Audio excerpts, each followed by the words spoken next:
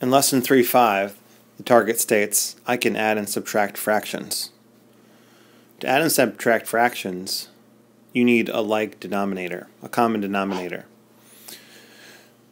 So the hardest part of adding and subtracting fractions is finding that common denominator.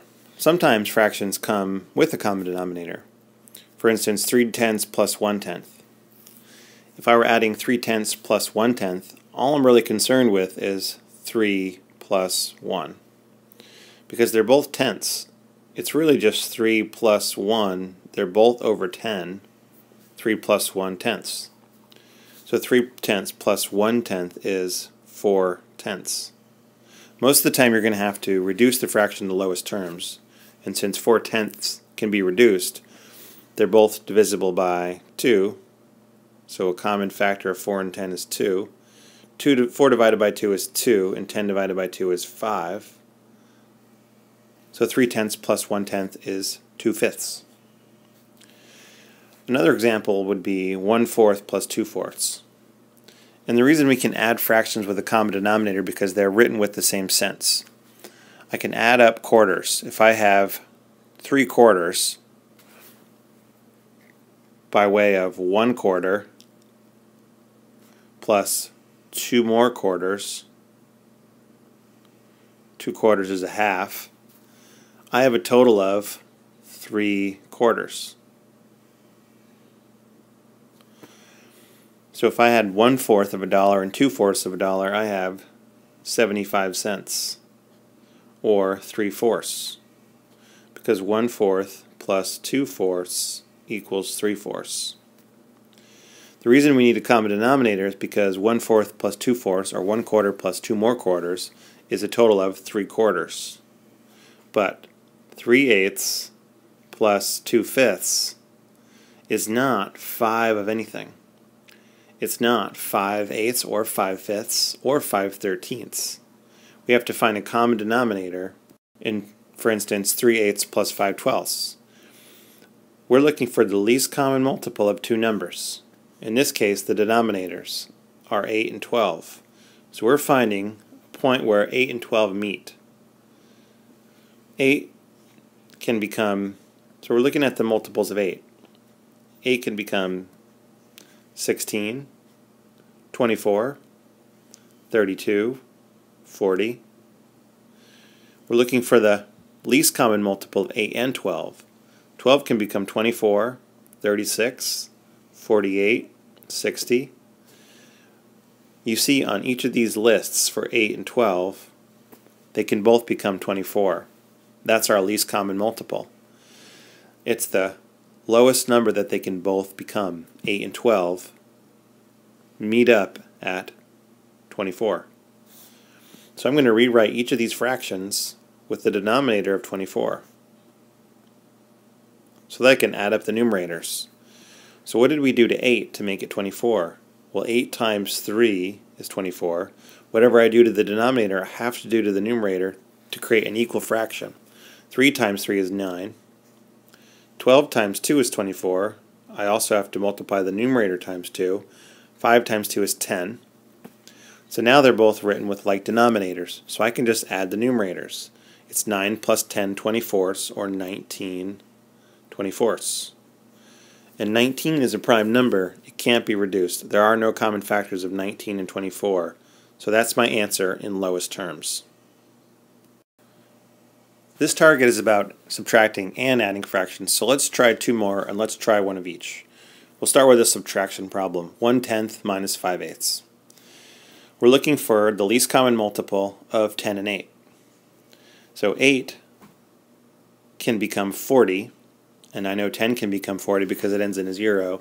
So they're both going to be rewritten as fractions with the denominator of 40. 8 times 5 is 40, so I have to do the same thing to the numerator. 5 times 5 is 25. 10 times 4 is 40, so I have to do the same thing to the numerator. 1 times 4 is 4. So this is kind of a hard one, because now what am I dealing with? They're both over 40. But all I'm really concerned with is 4 minus 25. I have to subtract the numerators. I'm going to end up with a negative fraction because 4 minus 25 is 4 plus negative 25.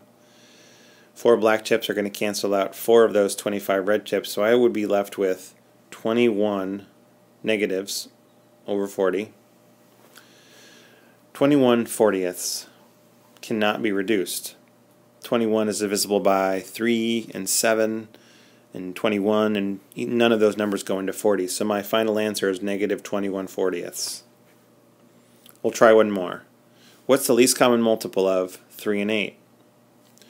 8 can become 16 and 24 and 32. Well, 3 can also become 24. So that's going to be the point where they meet. So they can both be written as 24ths. And I'm adding this time. 8 times 3 is 24. 7 times 3 is 21. So I'm multiplying each denominator by the other denominator. 3 times 8 is 24 and 2 times 8 is 16. So 21 plus 16 is 37. So it's 37 24ths. This cannot be reduced by dividing the numerator and denominator by a common factor, but it can be reduced because it's an improper fraction. 24 goes into 37 one time. 37 minus 24 is 13. The remainder is 13. So it's 1 and 13 whoops, 24ths is my final answer. Okay, you give it a try. Click pause, try a subtraction problem and an addition problem, and when you're ready to see the answers, click play and I'll go over them so you can check your work. Click pause and try these two problems out. Good luck. Okay, here we go. One fifth and one third. 5 and 3 can both meet at 15. So the least common multiple of 5 and 3 is 15. It happened to be 5 times 3. So I know I'm going to multiply this numerator times 5 and this one times 3. So this is 3 fifteenths and this is 5 fifteenths. So I'm subtracting. So it's 3 minus 5 over 15. 3 minus 5 is 3 plus negative 5 is negative 2 fifteenths and 2 does not go into 15, so that's my final answer. It's in lowest terms. Negative 2 fifteenths. The other problem is 2 sixths plus 1 fourth. So, um, 6 and 4 can both become 12. The least common multiple of 6 and 4 is 12. So I'm going to reread, rewrite each fraction with the denominator of 12 times 2 6 times 2 is 12, so the numerator times 2 is 4. Times 3, 4 times 3 is 12, so the numerator times 3 is 3. So it's 4 twelfths plus 3 twelfths, which is a total of 7 twelfths. 7 twelfths cannot be reduced, so it is also in lowest terms.